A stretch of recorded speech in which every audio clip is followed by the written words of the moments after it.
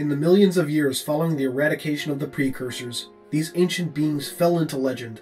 The Forerunners came to believe that the precursors were benevolent creators that had seeded life all throughout the galaxy, passing their mantle of responsibility onto the Forerunners before mysteriously vanishing.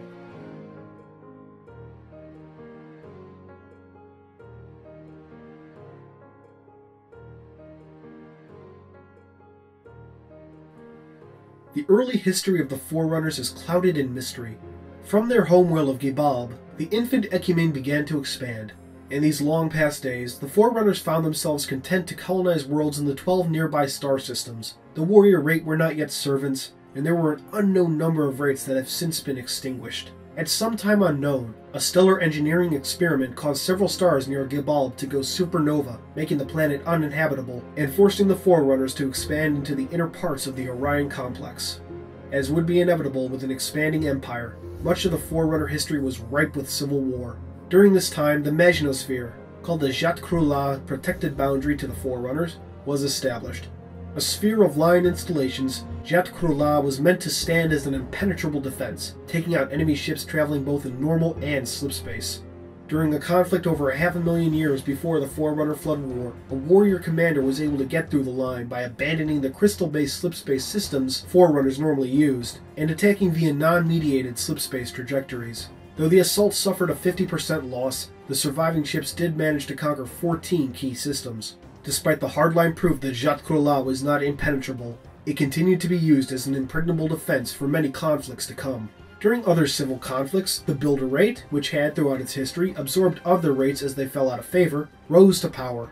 The Builders used their new influence to enact a cultural purge of lesser rates, notably the warriors and the miners. This would ensure the continued power and influence of the Builders for eons to come. Around 150,000 BCE, the Forerunners had more than established themselves as a dominant civilization in the Milky Way. At the same time, humanity started to move outward along the galactic arm, away from its homeworld, supposedly to escape Forerunner expansionism. While the mantle dictated that all life was sacred, the Forerunners would, often enough, twist the tenets to their favor, moving entire species to new planets and new star systems, all for the sake of expansion. Intervening to ensure peaceful development, but also to make sure that Forerunner dominance was never at risk. Many species would become subservient to the Forerunners, being absorbed into the Ecumene as a sort of client species to their Forerunner masters. Humanity was determined to avoid this.